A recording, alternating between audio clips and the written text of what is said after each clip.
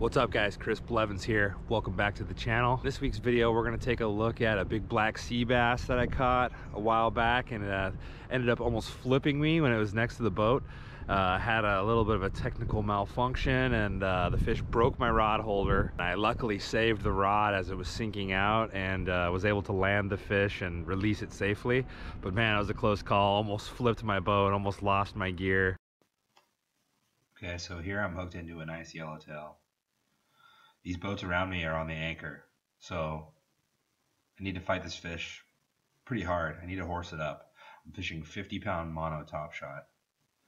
So I really need to put a lot of pressure on this fish to keep it from heading into these anchor lines. Um, as it's running toward the structure, I'm trying to pull my boat over the top of it, trying to maintain like a vertical pressure on the fish. Um, and here I'm kind of sliding over the top of it. Soon we'll get it here right underneath the boat and it'll be circling up for the finish.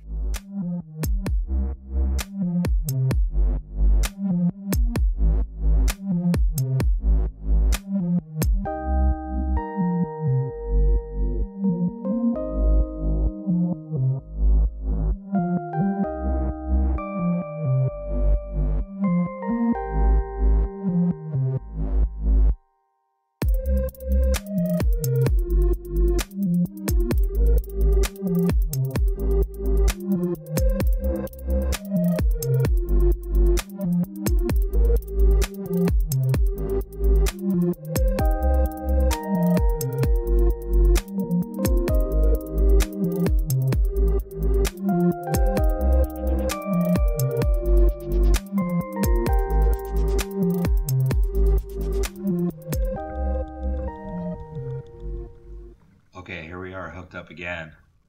Only this time we're in a little shallower, closer to the structure, closer to the kelp. Also, this fish is feeling a little heavier. That's probably why you see the smirk on my face. Alright, so here we're sliding along parallel with where all these boats are anchored, okay? I'm really using the rudder, pushing hard to the left to avoid this fish from pulling me closer to those boats. So I'm pushing, putting pressure on this fish using my rudder as I'm fighting it. Here we can see that it's doing its first circle. It's doing a big circle to the right. I know right here that I'm getting over the top of it and I'm starting to put pressure on it. You can see had a little slack in the line, but reeled in fast through it. Now I'm directly over the fish. Alright, I can feel it straight up and down. It's time to bring it up for the end. Still don't know what it is. At this point, I'm thinking it still could be a game fish. What I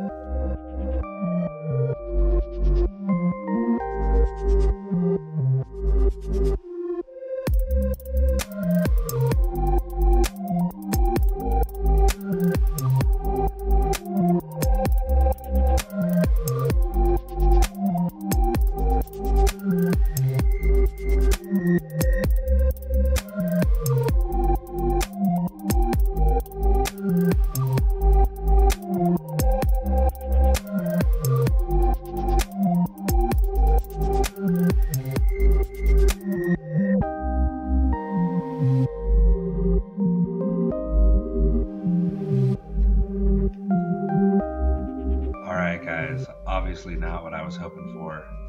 This is a medium-sized black sea bass. I don't know, maybe 50 or 60 pounds, something like that. Um, he's hooked nicely in the corner of the mouth. So, put my clicker on. I'm going to open up my spool, put in the rod holder, and this is where things start to go haywire. So I've got my leader in hand. I've got my pliers ready to unhook the fish. But I've got a problem and I'm not noticing it. If you look at my reel, you'll see that there's a loop of line and there's a backlash on there. So this is bad because even though my reel is out of gear and clicker's on, the line can still get caught on that loop. So that could backlash as the fish is running and cause the line to break. Um, so that's one problem. All right, so as I'm kind of fumbling here, trying to get the hook out, the fish is still pretty green. He's pretty angry and he's gonna give me a little run here. So as I'm fumbling with this, I've got another problem that I'm not noticing, and that is that the line is wrapped around the tip of my rod. So let's take a look in slow-mo here as I'm fumbling with the leader. The fish gets its head down, goes on a run straight downwards.